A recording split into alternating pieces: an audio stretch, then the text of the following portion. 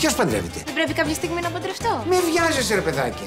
Άσε να κάνουν πρώτα δύο-τρει ακόμα και θα διαλέξουμε τον καλύτερο. Δεν θα δεις δύο-τρει ακόμα. Να έχει να συγκρίσει προσφορές. Θα βγάλουμε του κορίτσι σε δημοπρασία να δούμε ποιος δίνει τα περισσότερα. Μην το υποβιβάζει τώρα το θέμα. Ε. Πού! Πού! Και στα μούτρα. Συμπέθερη από τα τύρανα. Παρασκευή στις 9 το βράδυ.